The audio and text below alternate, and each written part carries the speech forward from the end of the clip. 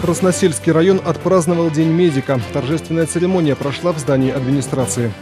На два часа доктора смогли отвлечься от ежедневных забот. Посреди рабочей недели их ждал праздничный концерт и награды от главы администрации. Грамоты и нагрудные знаки в этот день вручали не только врачам-специалистам, но и младшему медицинскому персоналу.